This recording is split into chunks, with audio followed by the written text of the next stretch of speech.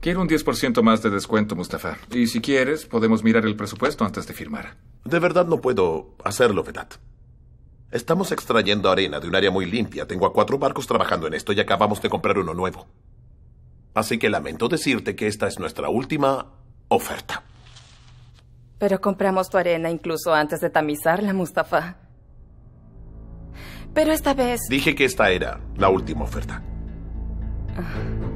Dime, Tajir, ¿tú también eres tan testarudo?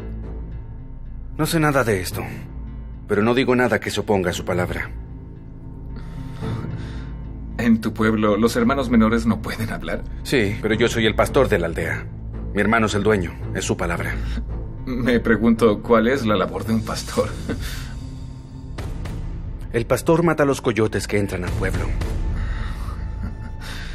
De acuerdo, entendí el mensaje, pequeño Kaleli. Tu hermano siempre dice que negociar es imprescindible, solo quería intentarlo. Correcto, pero no te funcionó, Vedat. Ahora, te pido que firmes el contrato, porque mi hija está abajo esperando a su padre. Prometí llevarla a la torre de la doncella.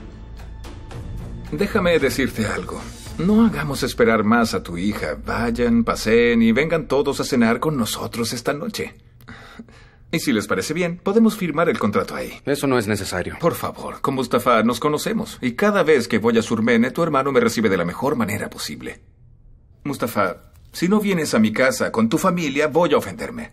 Tu hija puede entretenerse jugando con mi hijo. No, Vedat, tenemos un largo camino. No, no. No acepto excusas. Voy a llamar a mi esposa de inmediato.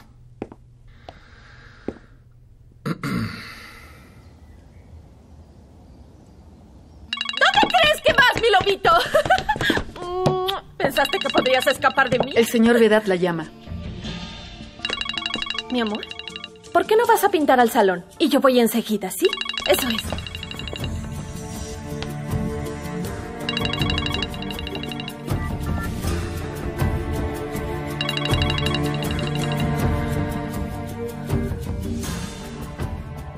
¿Qué quieres? ¿Pasó algo? Hola, cariño.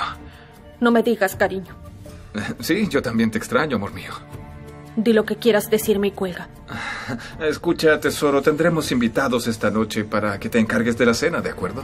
¿Y quieres que cubra mis moretones? Ah, yo también te amo mucho, mi amor.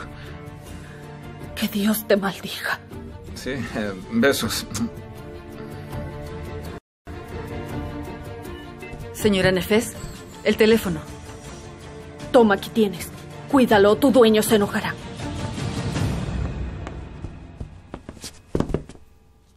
¿Cómo está mi lobito? ¡Qué dibujo tan lindo! ¿Qué me toca hacer a mí? ¿Quién es ese? ¿Eres tú o yo? Tú. Entonces vamos a dibujarte a ti.